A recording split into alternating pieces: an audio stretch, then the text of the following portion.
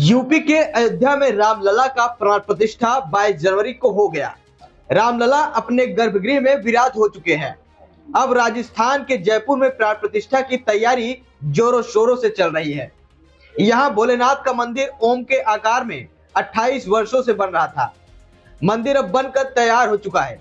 अब सिर्फ़ प्राण प्रतिष्ठा के दिन का इंतज़ार हो रहा है। आइए जानते हैं कि कब होगा यहाँ प्राण प्रतिष्ठा समारोह।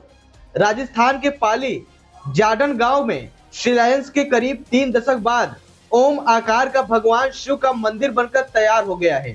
ओम के आकार में बने शिव मंदिर के प्राण प्रतिष्ठा का दिन और तारीख तय कर दिया गया है। 19 फरवरी 2024 को इस भव्य शिव मंदिर का प्राण प्रतिष्ठा होना तय हुआ है। राजस्थान के पाली में ओम आकार में बने शिव मंदिर के प्राण प्रतिष्ठा में यूपी के सीएम योगी आदित्यनाथ, एमपी के सीएम मोहनलाल यादव राजस्थान के सीएम भजन लाल शर्मा, राजस्थान के उप मुख्यमंत्री दिया कुमारी समेत कई अन्य अतिथि भी शामिल होंगे।